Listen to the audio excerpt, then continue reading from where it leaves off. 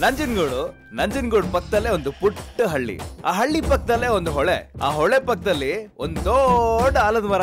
ಆ ಆಲದ ಮರದ ಮೇಲೆ ನಾಲ್ಕು ಕೋತಿಗಳು. ಅಲ್ಲ ಅಲ್ಲ ಅಲ್ಲ ಅಲ್ಲ ಅದ್ರ ಕೆಳಗಡೆ ನಾಲ್ಕು ಹುಡುಗರು. ಅದೇ, ನಮ್ ಹುಚ್ಕೊಂಡೇವು ಅರಕಲು ಅಂಗಿ, ತಾಪೆ ಚಟ್ಟಿ ಕುರುಚುಲು ಗಟ್ಟಲು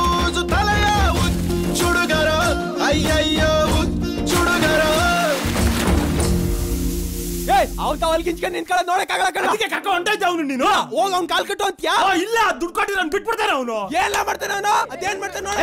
ಏನು ಮಾಡಲ್ಲ ಕಡ್ಲ ಮನೆ ಹತ್ರ ಏಯ್, ಬಂದ್ರೆ ಸುಮ್ನೆ ಇರ್ಲ. ಅಲ್ಲ ಹೇಳ್ತಾನೆ ನೀವೇ ನಾಯಿ ತರ ಕಿತ್ತಾತಿರಲ್ಲ ಬುದ್ಧಿ ಇಲ್ಲ. ಬಂದ್ರಲ್ಲ ಅವ್ನ ಸಮಾಧಾನ ಮಾಡುವ. ನೀನು ಓದೋ ಟೈಮ್ನಾಗ ಓದ್ಲಾ ಅಂತ ಬಡ್ಕಂಡೆ. ಹೇಳಿದ್ರೆ ಹಣ್ಣು ತಿರ್ಸ್ಕೊಂಡು ನಿಂತ್ಕೊಂಬಿಟ್ಟೆ. ಇವತ್ ಗೊತ್ತಾಯ್ತಲ್ಲ ಜೀವನ ಏನು ಅಂತ? ನಾ ಬದುಕಿರೋ ಗಂಟ ಸಂತೆಲ್ ವ್ಯಾಪಾರ ಮಾಡಿ ನೀನ್ ಸಾಕ್ತೀನಿ. ಇವತ್ತಿನ ಮಕ್ಕಳಿಗೆ ತಂದೆ ತಾಯಿ ಮೇಲೆ ನಂಬಿಕೆನೇ ಇಲ್ಲ.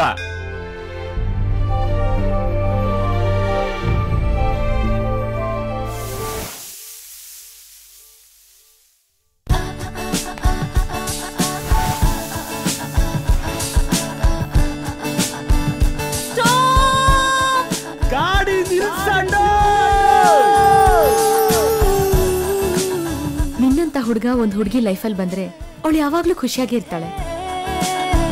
ನಿಮ್ಮ ಹೆಸರು? ಪಾರ್ವತಿ. ಪಾರ್ವತಿನ? ಇವನು ಮಾದೇಶಣ್ಣ ಅಂತ ಇವನು ಶಂಕರಣ್ಣ ಅಂತ ಅವನು ನಂಜುಂಡಣ್ಣ ಅಂತ. ಇವನು ಶಿವಣ್ಣ ಅಂತ. ನಿಮ್ಗೆ ಯಾರೋ ಬಾಯ್ ಫ್ರೆಂಡ್ ಇದಾರಂತೆ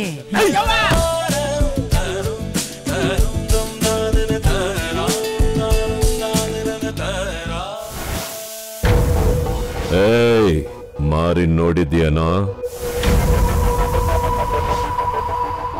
ನಿನ್ನಂತ ಕುನ್ನಿ ಹತ್ರ ಫಸ್ಟ್ ಟೈಮ್ ಈ ಡಿಸ್ಟೆನ್ಸ್ ಅಲ್ಲಿ ಮಾತಾಡ್ತಾ ಇರೋದು. ಹುಲಿ!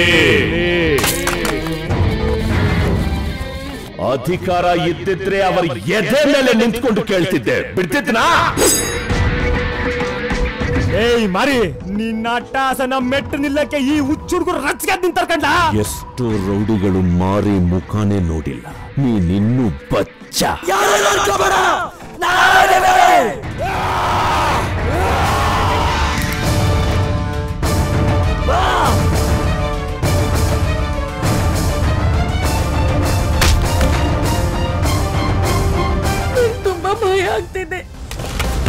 ನಿನಗೇನು ಹುಚ್ಚ? ಹುಚ್ಚ ಕಣ ನಮ್ಗೆ! ಹುಚ್ಚ!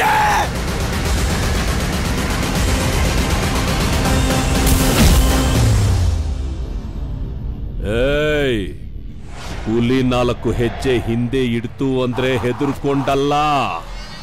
ಬೇಟೆ ಶುರು!